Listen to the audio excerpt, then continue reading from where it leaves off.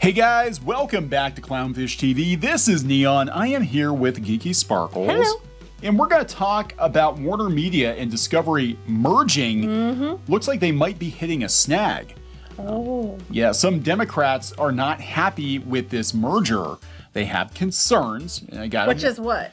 Uh, which is they're they'd be too powerful. But I really have to wonder. They, they let Disney do stuff. They let other companies do stuff. Yeah, but this They let always comes Sony up. do stuff. I know, I know. I, you know, I, I gotta wonder. I gotta wonder if there isn't a component here. Hat tip to my mom. Yeah, hat tip to To Mama Sparkles. Mama Sparkles, uh, because CNN might change if this goes through. Uh, you know, there was talks that CNN would would potentially get uh, sold off.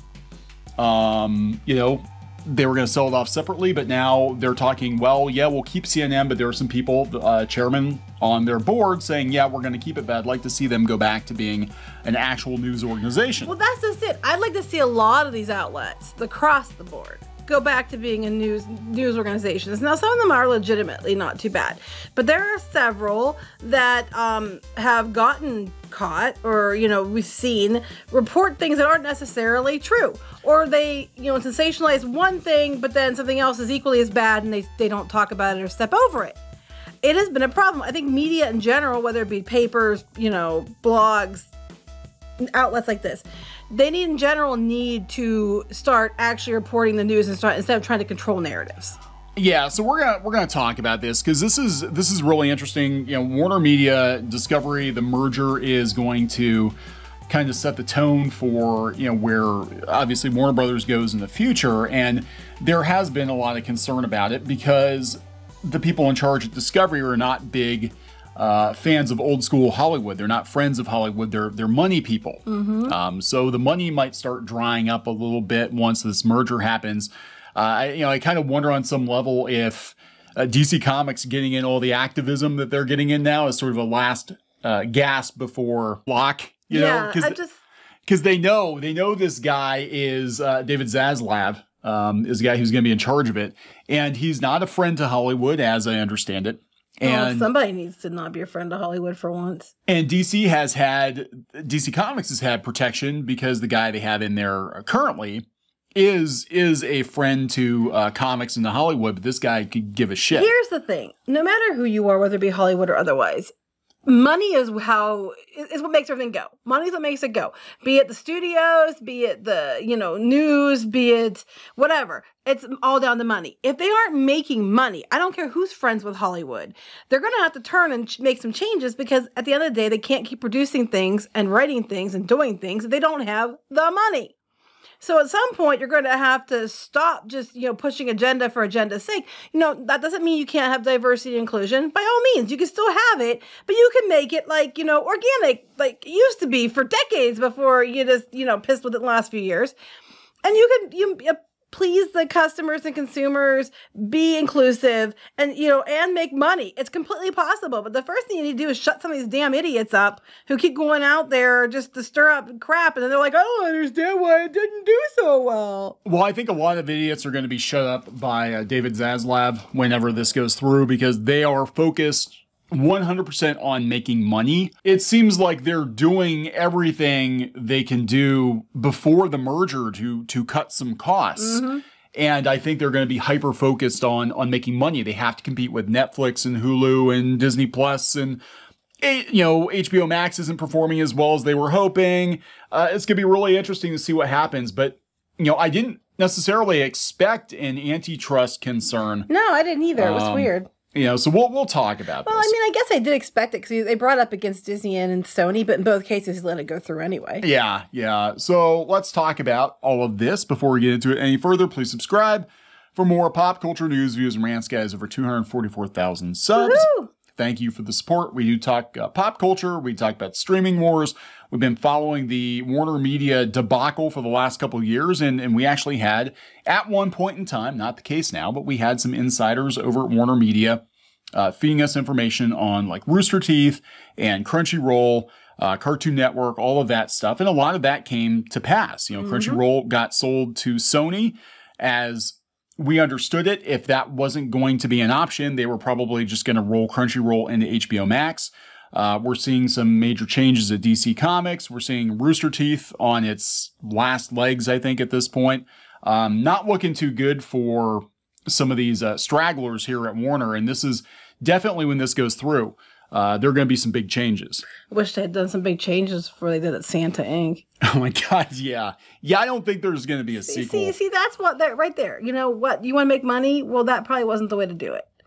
Anyway, uh, Variety via Yahoo Finance, AT&T CEO dismisses Democrats' antitrust concerns about Warner Media Discovery merger as unfounded. Mr. Stankey, John Stankey, CEO of AT&T, said an effort by Democratic leaders in Congress to characterize the proposed merger of Warner Media and Discovery as an anti-competitive threat to the media industry. How?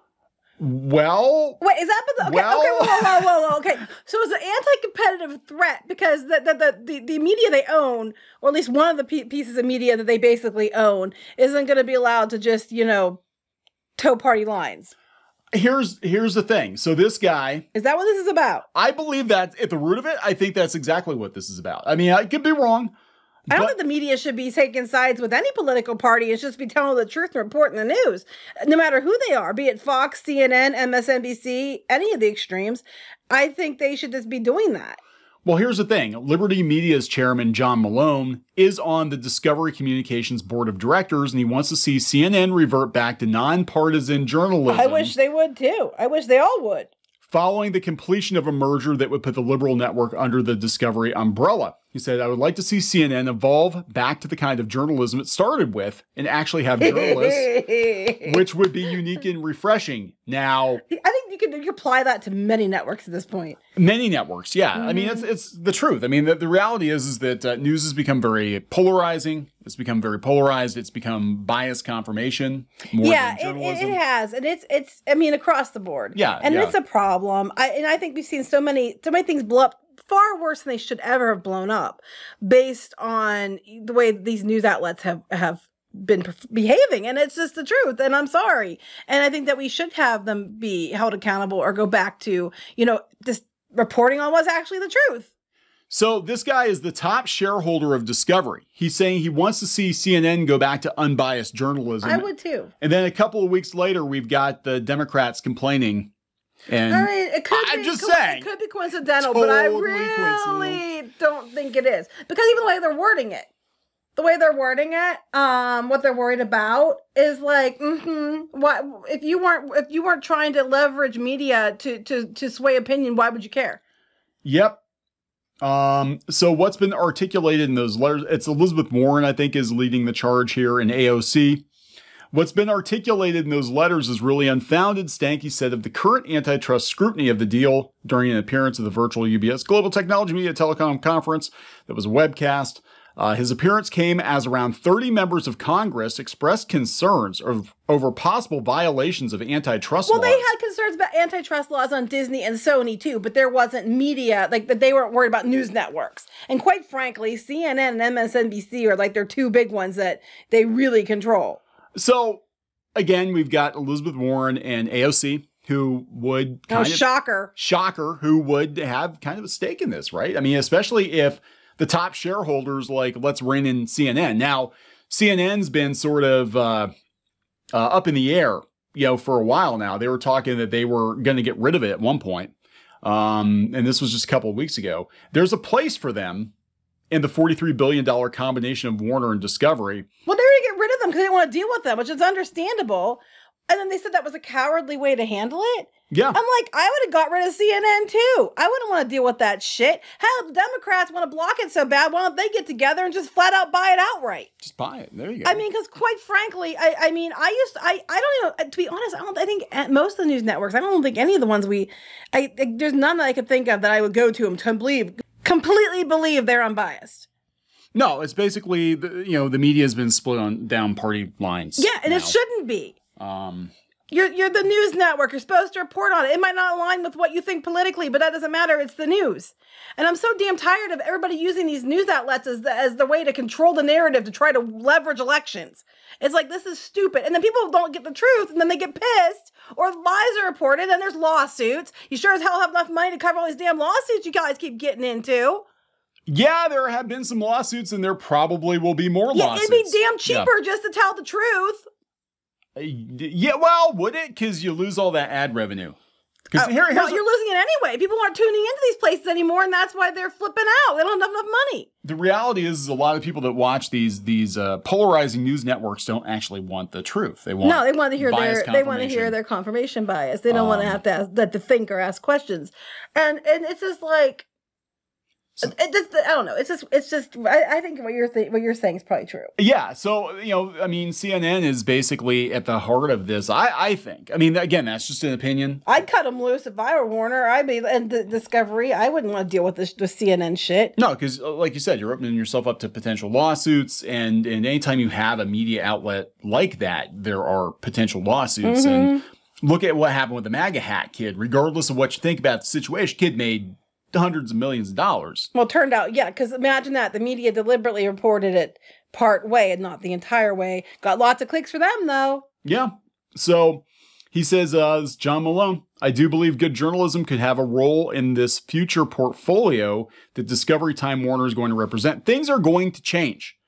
They're absolutely going to change. And I think we're going to see as we get closer to this deal happening, if they can push it through, we're going to see Hollywood freak the hell out. I think we're mm. going to see DC Comics freak the hell out. It's not that hard.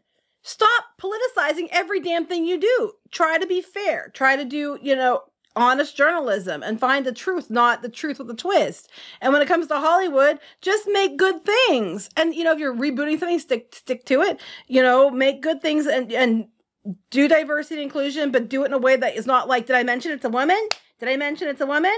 Did I mention lesbians? You know, I mean, did I mention they're not white? I mean, I'm just so tired of it because pretty much that's what diversity is not white lesbians. That that slapping sound you're hearing is Geeky slapping my ass every time she no, says it's diversity. not. It's not. I'm just saying, it's not that hard. You can accomplish all the same things, but you know, that requires integrity. So, you know, Yeah, yeah. and this is CNN, across the board. CNN has not had integrity in a long time. Several of these have it. Uh, yeah, yeah. I mean, you know, again, the media is just more and more polarized. Ever since it's become polarized on politics, it's just gone downhill.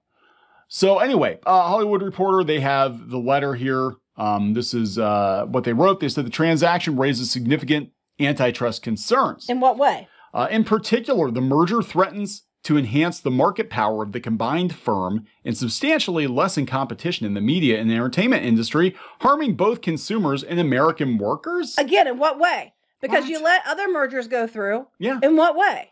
Uh, in light of these concerns, we respectfully urge the department to conduct a thorough review of this transaction to ensure that it does not harm American consumers and workers by illegally harming competition.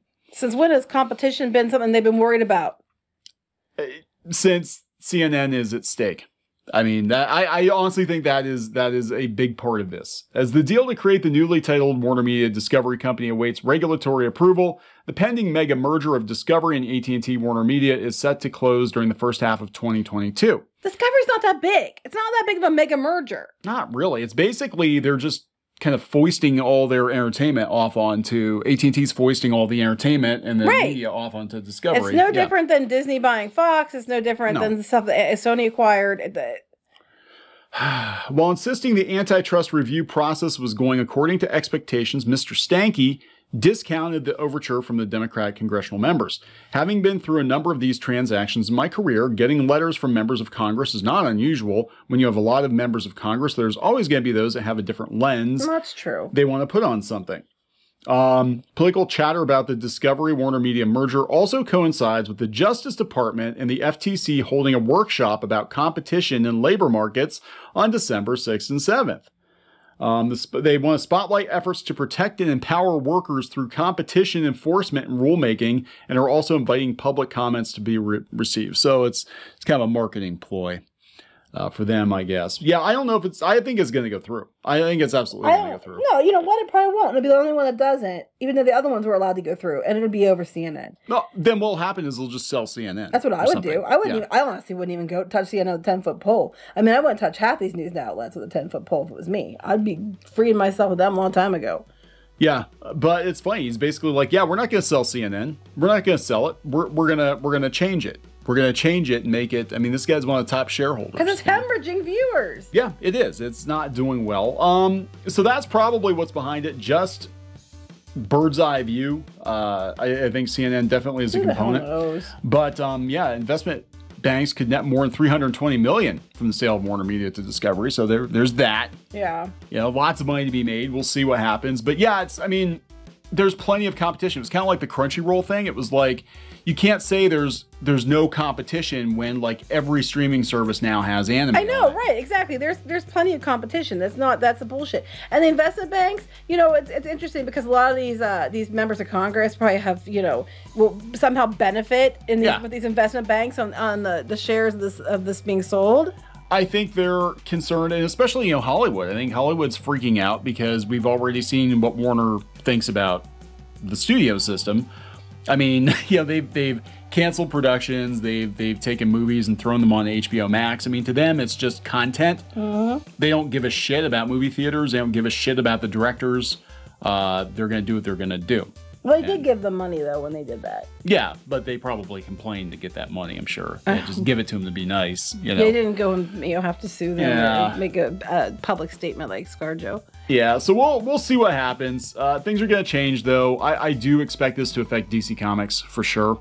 Uh, we'll see what happens. I don't know. We're gonna wrap it up. Yep. Please subscribe for more pop culture news, views, and rants, guys. We'll talk later. Bye.